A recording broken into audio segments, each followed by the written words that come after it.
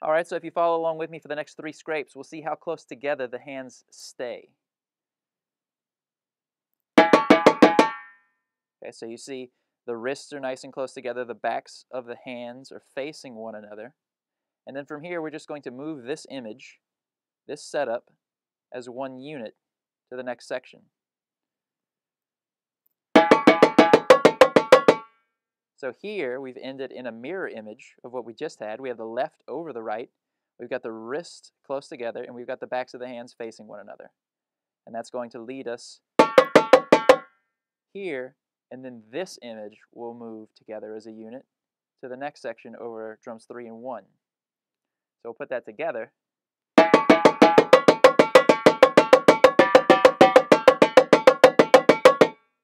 Okay, so we can see how keeping the hands close together is going to help us with efficiency. We're going to be using a lot less space, okay, getting rid of a lot of excess motion and uh, conserving our energy. And it's going to make uh, these scrape patterns a lot more achievable, a lot more comfortable, and um, just a lot more efficient in our motion. So we can move on.